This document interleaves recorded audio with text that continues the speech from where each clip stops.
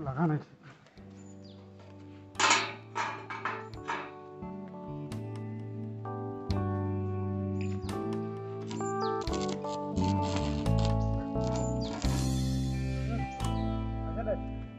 Hmm, okay.